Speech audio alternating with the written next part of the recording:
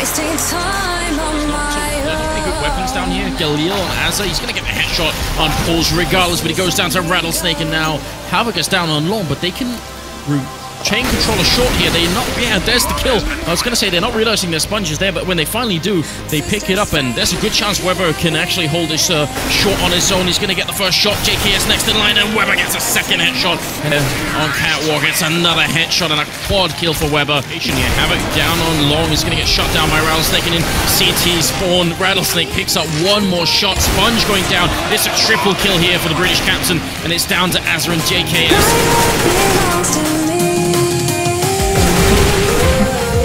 Never gonna now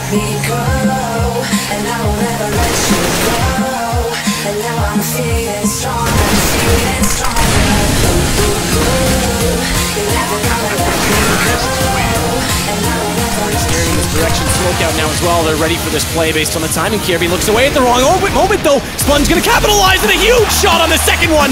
And Renegades, they'll pick up their first round on the first gun.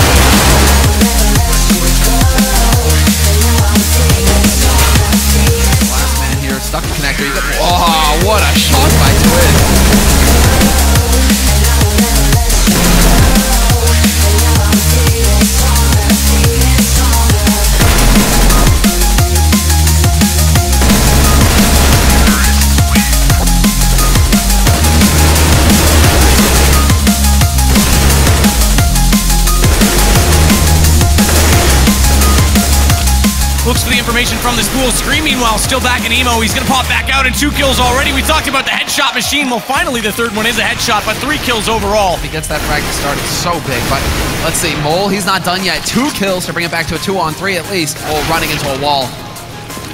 And, well, sometimes, you know, he's the juggernaut. He just goes through it. Super impressive round for Mole here. Just a bit of a shame his team isn't alive, and he's going to get the headshot here on Asa as well.